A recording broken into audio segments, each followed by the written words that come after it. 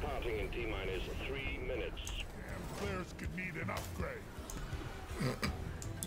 Well, thank you, Pipe.